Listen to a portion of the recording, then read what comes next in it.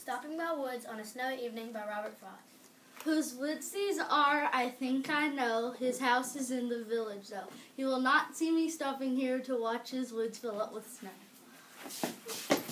My little horse in a thicket cleared to stop without a farmhouse near, between the woods and a frozen lake, the darkest evening of the year.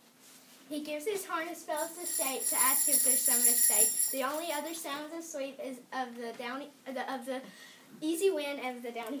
And the The woods are lovely, dark and deep, but I have promises to sleep, keep. And miles to go before I sleep, and miles to go before I sleep. I don't know what we're doing.